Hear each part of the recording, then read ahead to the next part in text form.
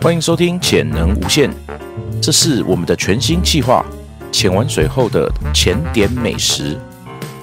会有这个计划，是因为来自网友的留言，希望我们可以介绍潜完水之后能够在潜点附近吃的美食。哦，所以呢，我们会找相关的一些美食达人来跟各位介绍，或者是分享这些关于潜点附近的美食资讯。好，那接下来我们会以短片的形式，不定期的跟潜水好朋友分享。所以准备好了吗？就让我们开始我们的潜水美食之旅吧。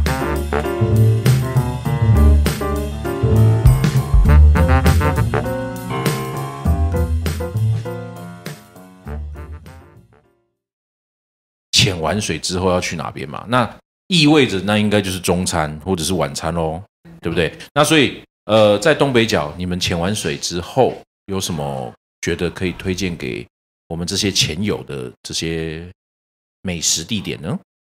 嗯，我还是从朝境公园周遭开始开始聊。好啊，呃，朝境会绕到刚才澡堂的地方，就是呃瑞芳那边对吧？瑞芳车哦，站哦，瑞芳的瑞芳，OK 对瑞瑞芳瑞芳车站那边，那边有一家福哥牛肉面，啊，对对对对对，对那个转角口嘛，对不对？转角口啊，嗯生意生意蛮好的。对对对，呃，来说的话，你说它特别好吃，我觉得是还算可以啦。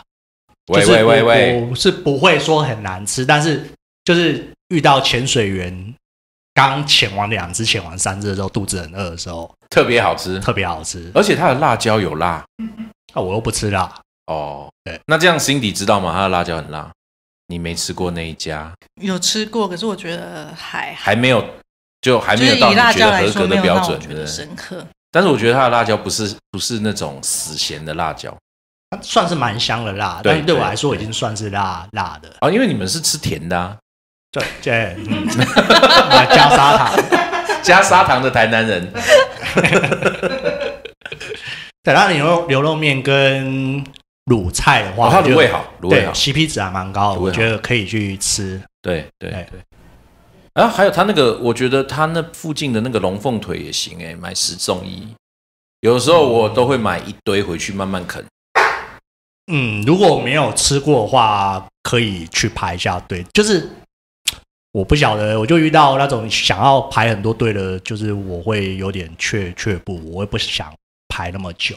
嗯，对，所以可能是没有人的话，我会可能会买个几只来塞塞牙缝之类的啊。嗯嗯嗯，但是吃吃太多只，我会觉得有点有点腻，对不对？因为它外面包那个油膜、油网，啊、对，所以比较刺客油很多的啊话会有点，对。对，没错。嗯，好，那再往里面走一下，它那个瑞芳的美食广场，我觉得有一家冬咸冬瓜猪脚汤还不错喝。哦，对，它是属于那种比较清淡一点的猪脚，嗯嗯嗯嗯不是那种红烧的。，OK，那瑞美食广场里面其实也蛮多吃的，我建议网友不妨去那边逛逛，嗯。一定可以找到自己喜欢吃的。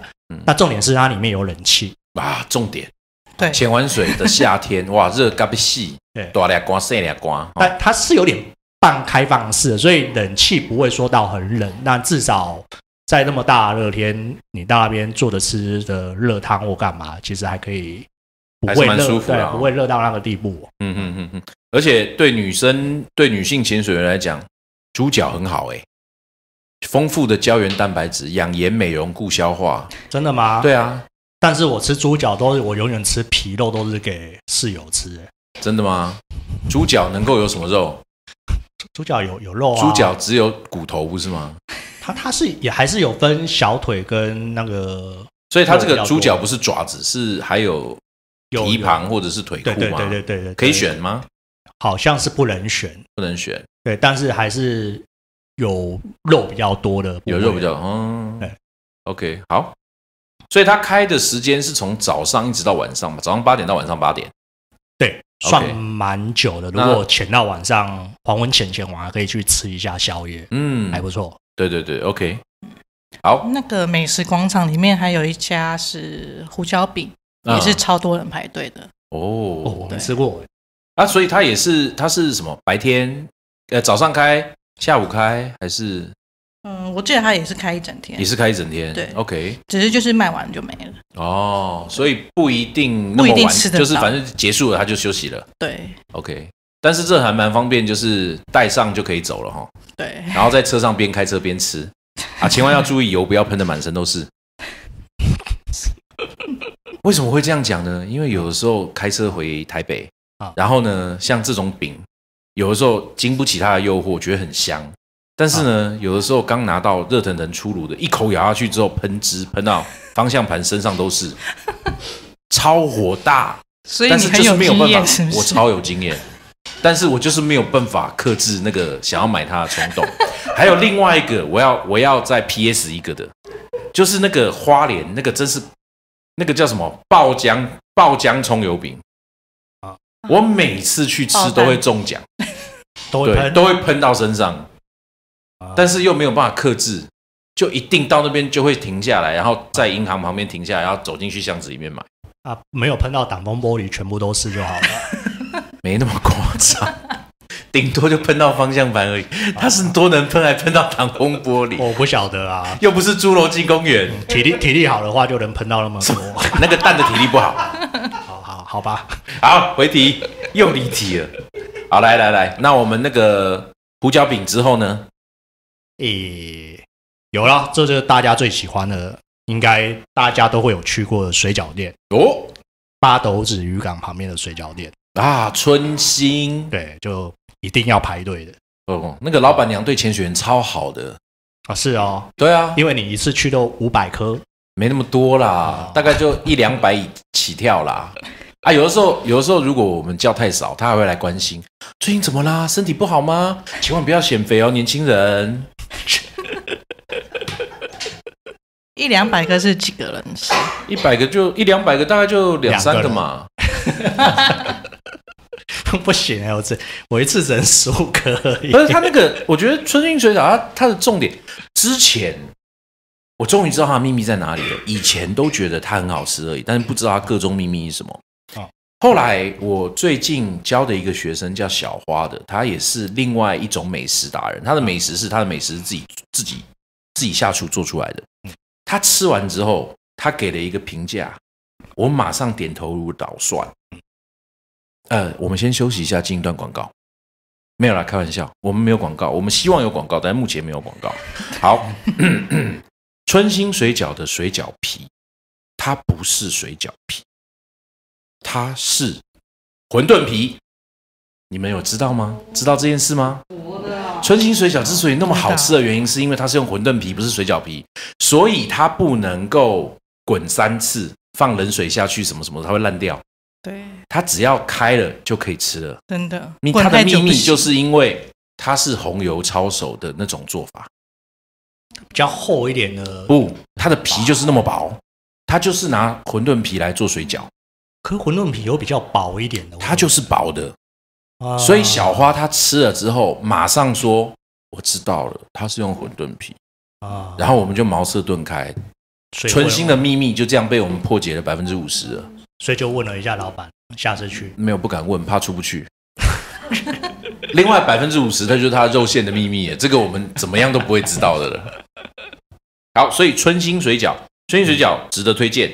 嗯但是呢，千万要注意的一件事情哦，它呢，呃，十一点开，然后呢也是到晚上。但是呢，如果你通常潜水结束是呃一两点以后的话，你可能要等最少半个小时，你才会轮到你。